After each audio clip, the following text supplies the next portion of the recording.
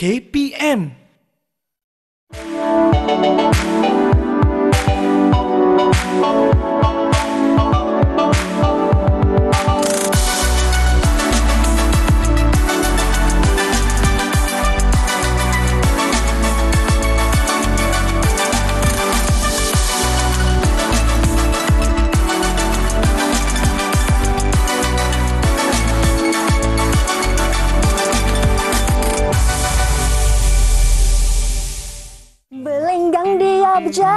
gadis desa yang manja jelingan. Eh, yang manja. Assalamualaikum dan salam sejahtera semua. Apa khabar? Seperti biasa anda sedang menonton kesenian Didik TV KPM Bersama saya Syamira Nazir. Wah, wah, seronoknya kita Pegang mikrofon, menyanyi feeling-feeling hari macam ni kan? Sebab hari ni topik kita yang akan kita sama-sama pelajari Ialah nyanyian, nyanyian, nyanyian Nyanyian solo. Ah, nyanyian solo. Siapakah guru yang akan bersama dengan kita hari ini? Beliau merupakan seorang guru muzik yang sangat berpengalaman. Nak tahu siapakah beliau? Ayo kita saksikan Prof. The Guru.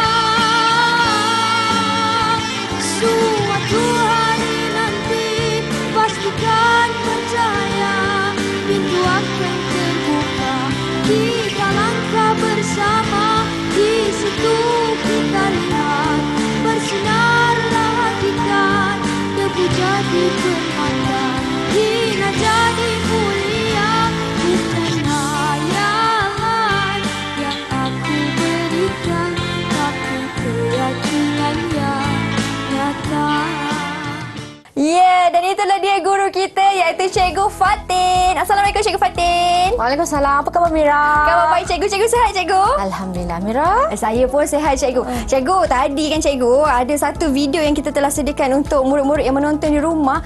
Tiba-tiba feeling nak nyanyi cikgu berkobar-kobar nak nyanyi Ya. lagu ni kan. Suci dalam debu tu. Boleh cikgu cerita sikit tak tentang video tersebut?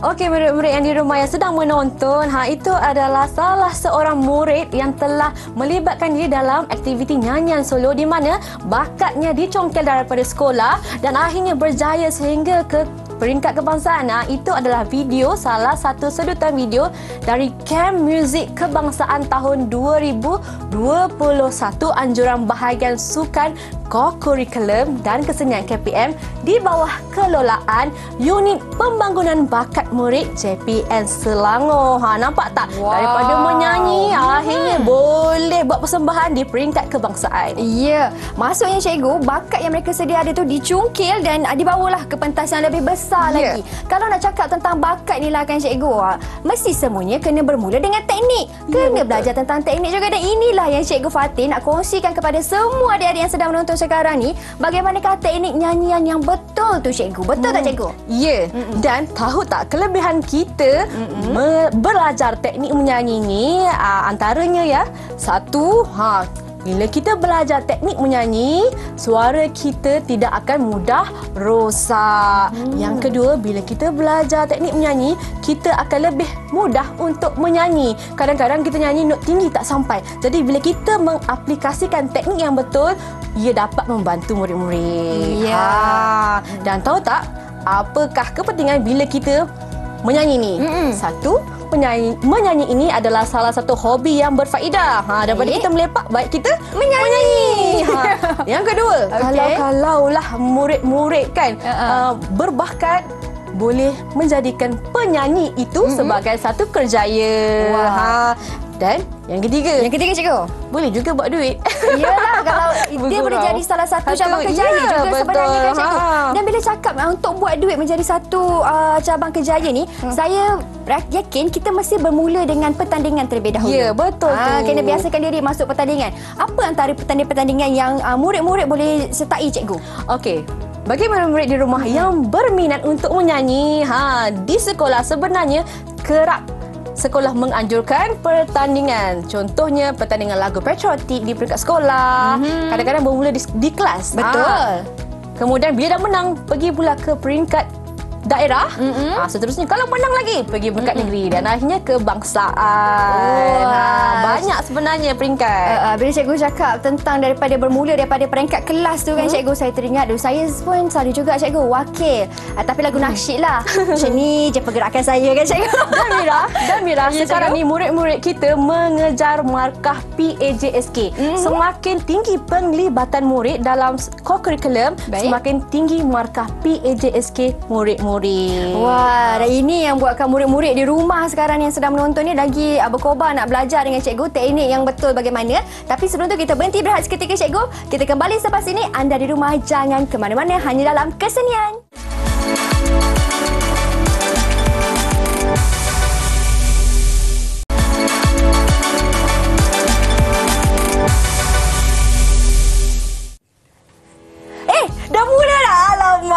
Alamak, barulah Mira feeling-feeling menyanyi ni kan. Kembali kita dalam kesenian Didik TV KPM di mana hari ini kita punya topik ialah tentang nyanyian solo. Sangat seronok kerana semuanya tentang nyanyian dan masih lagi bersama dengan kita iaitu Cikgu Fatin, guru muzik kita untuk hari ini. Cikgu, hmm. tadi cikgu dah cerita sedikit dah tentang nyanyian ni. Sekarang ni nak masuk pula bagi uh, pengenalan kepada nyanyian kan cikgu? Okey, murid-murid, pengenalan nyanyian ni cikgu akan terangkan sedikit tentang uh, teknik-teknik dalam nyanyian. Ha, salah satunya adalah postur. Ha, untuk pengetahuan murid-murid, ha, postur ni di sekolah kita banyak kali belajar sebenarnya dan ada dua postur yang akan dipelajari iaitu berdiri dan duduk. Okey, kita akan buat bersama-sama. Okey, saya nak minta Mira duduk. Langkah yang pertama, posturnya kaki perlulah dibuka. Ha, mesti dibuka. Buka sikit kaki. Ha, buka sikit kaki walaupun duduk kena buka kaki. Ha, yang paling penting buka kaki ni sebab nak berikan keseimbangan kepada kita. Mm-hmm. Okey, yang kedua, dagu kita, dagu penyanyi perlulah selari dengan lantai, Hmm. tidak mendongak ataupun menunduk. Ha, ini adalah asas Mira, kita perlulah sentiasa tegakkan badan. Tegak. Okey, ah, tapi Mira jangan bersandar Mira, jangan mendongak, jangan. Jangan, jangan, jangan, jangan, kena jangan Mira, kita kena ha. Okey. Kalau boleh duduklah mm-hmm. uh, dua per tiga kerusi depan sikit jangan bersandar lah. Ha. Okey murid-murid, boleh cuba kan? Boleh cikgu. Okey, itu adalah postur. Hmm. Yang kedua, hari ini kita nak belajar teknik kepada pernafasan menggunakan diafragma. Apa itu diafragma, cikgu? Hmm. Okey, murid-murid, biasanya kita selalu dengar, okey, uh, nyanyi menggunakan perut, nyanyi ikut perut. Ha, lebih kurang sebenarnya diafragma. Okey.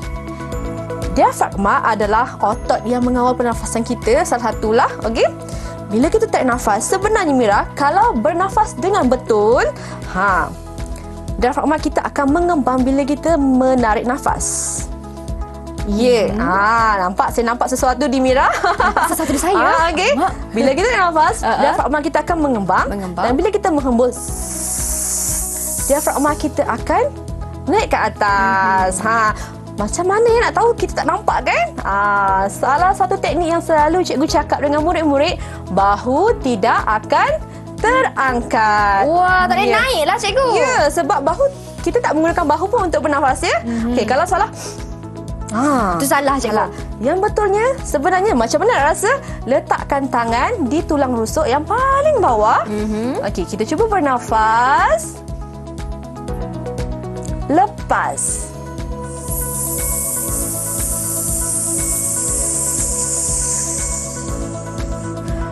Wah, boleh kan? Betul lah cikgu. Terasa perbezaan dia lah cikgu. Hmm. Hmm. Pentingnya pernafasan ni kerana dia uh, teknik ini boleh membantu kita melontarkan suara dengan baik. Hmm. Okey, yang ketiga, teknik yang cikgu akan kongsikan hari ini adalah sebutan. Tada! Ha. Mari kita sama-sama menyebut sebutan A. Okey. A. A. Okey, murid-murid kalaulah anda menyertai choir nyanyian, kalau sebut A, ah mesti cikgu cakap, ah, empat jari kena masuk dalam mulut. Nah, Oh, macam tu. Ha, okey. besarnya A. Uh-uh. Mari kita cuba sama-sama. Mari cikgu. Satu, Dua, tiga. Ah, ah, besar mulut Mira. Bagus Mira. Okey, seterusnya latihan kita adalah eh. Eh. Eh, eh kena senyum. Eh. Macam tu. Eh. Okey. Eh. Dan yang ketiga, oh. Oh. Oh. Ha. Oh. Oh. Okey. Ha. Yang seterusnya, i. I. Senyum i. I. Dan yang kelima, oh. Eh, so- sorry, ooh. Ooh. Ha. Uh, okey. Dan selepas ini, ha, jom cikgu nak ajak murid-murid semua merasai tempo. Kenapa penting tempo ni? Kerana kalau kita tengok murid-murid di sekolah, Mhm. kelemahan mereka kebanyakannya adalah dari segi tempo. Ha, jom murid-murid tengok cikgu. Cikgu akan pasangkan audio Baik. dan cikgu akan buat gerakan mengikut tempo. Murid-murid tengok dulu, okey? Jom kita dengarkan muzik dan tengok cikgu. Jom kita dengarkan audio tersebut.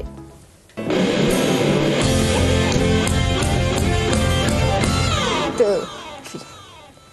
One, two, Two, three, three, four. four. Saya turun cikgu. One, Five. One, two, two, three, four. One, two, three, four. One. Yeah, bagus Mira. Okey. Okey. Jom murid-murid kita cuba sama-sama. Ready? Okay, one, two, ready. Sekali lagi murid. Jom adik-adik. Three, four. One, two, Two, three, four. One, two, two, three, four. One, two, three. Mira jaga tempo Mira. four. One, two, three, four. Ha, bagus Mira.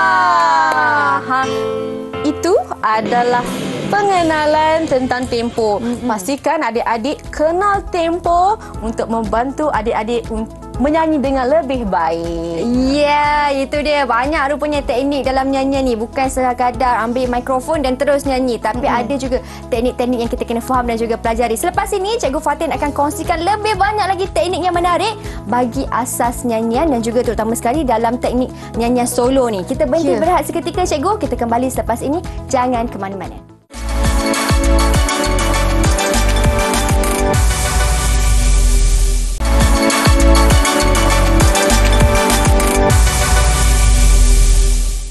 Kita dalam kesenian didik TV KPM. Kita dah belajar dah pelbagai teknik ah, daripada uh, sebelum ini daripada postur badannya bagaimana, cara pernafasan bagaimana dan kali ini Cikgu Fatin nak kongsikan pula penilaian dalam nyanyian pula Cikgu. Ya, hmm. betul. Ha, murid-murid semua telah pun uh, belajar menyanyi, menyanyi dengan bersungguh-sungguh dan adalah lebih elok kalau murid-murid semua terlibat dalam pertandingan ataupun penilaian. Ha, bukan saja pertandingan lah, dalam kelas pun kita ada penilaian. Dan saya yakin murid-murid di, di luar sana tertanya-tanya apakah yang dinilai dalam nyanyian mereka. Ha, di sini cikgu sediakan sedikit carta, satu carta yang mana cikgu akan terangkan satu persatu perkara yang dinilai dalam nyanyian. Ha, yang pertama adalah pitch. Ha, Pitch. apa itu pitch? Ha, senang ceritakan Mira, nada. Contohlah sebagai contoh ya. Lagu yang sebenarnya um, lagu yang sebenarnya contoh ya.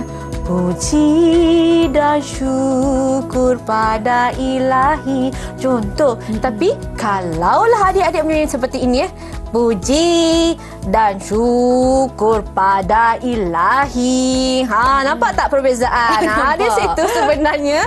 Ah, Adalah kesalahan dari segi pitching adik-adik. Ha, Perlu ingat ya Pitching adalah satu perkara yang penting dalam nyanyian. Nyanyian. Okey, yang kedua, kita akan menilai dari segi tone suara. Ha, tone suara ini adalah berkaitan dengan lagu yang adik-adik pilih. Ha, contohlah ya, ha, murid-murid kat rumah kan, pilih nak nyanyi, menyanyikan lagu irama Malaysia. Mm-mm. Pastikan ada lenggok lenggok irama Malaysia. Malaysia. Ha, contohnya kan Mira, Ya, cikgu. ha, lagu uh, lagu asli lah, Seri Mersing.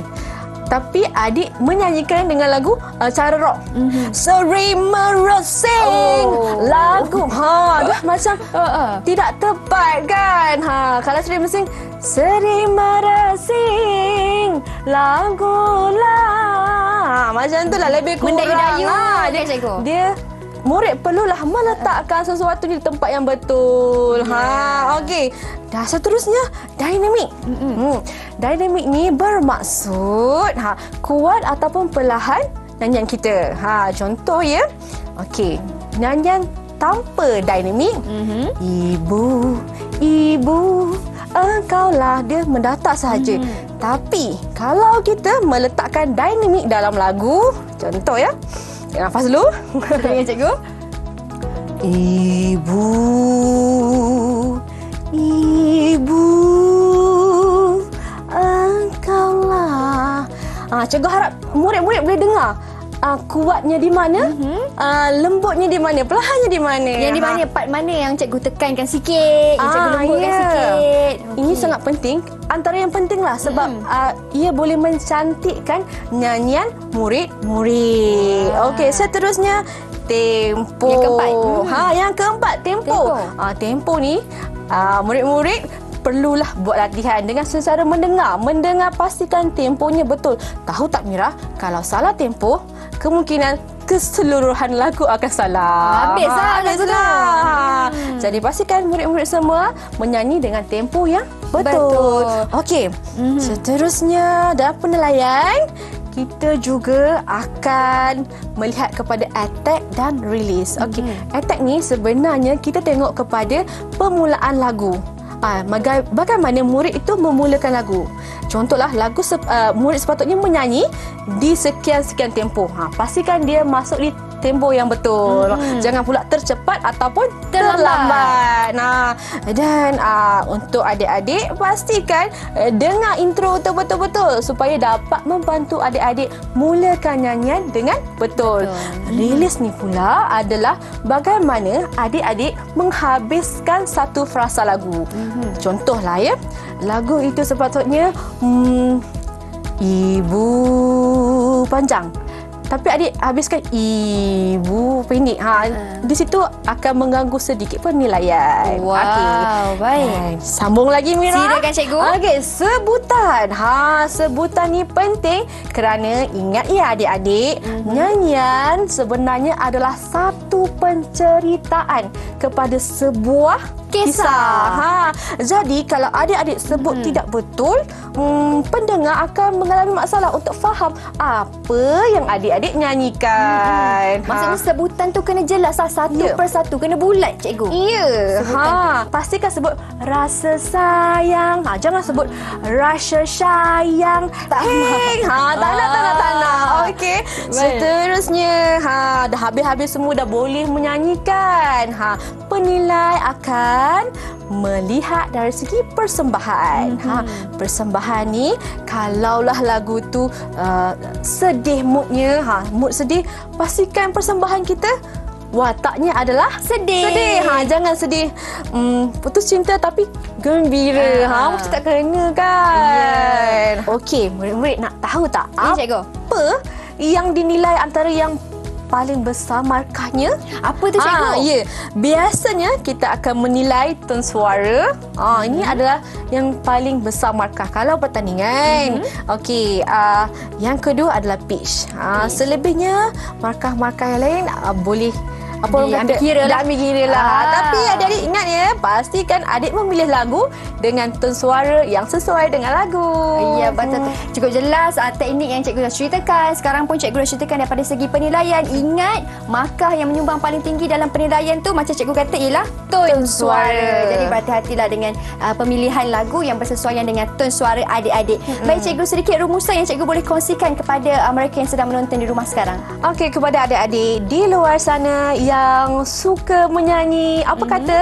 Mari sama-sama kita sertai pertandingan menyanyi. Tapi mm-hmm. ingat, pastikan adik-adik mengaplikasikan teknik nyanyian yang betul. Kenapa? Bila adik mengaplikasikan teknik nyanyian yang betul, nyanyian adik akan lebih bersih dan adik akan suara adik akan sentiasa terjaga.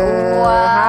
Eh, lupa. Ay, kita bercakap pun kita kena menggunakan teknik penafas teknik nyanyian yang betul tau. Mm-hmm. Teknik suara yang betul. Ha, takut lama-lama nanti suara akan hilang. Ah, itu dia baik. Terima kasih banyak-banyak Cikgu Fatin atas perkongsian ilmu pada hari ini. Terima kasih juga kepada semua yang menonton sehingga ke penghujung rancangan. Nah, tapi lepas ni ada satu persembahan penutup yang istimewa daripada Cikgu Fatin. Jadi kita jumpa lagi di episod akan datang. Assalamualaikum dan salam sejahtera. Bye.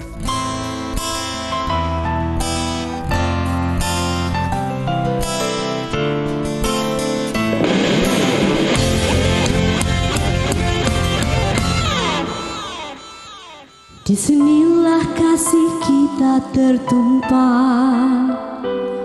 Di bumi indah nan damai bertua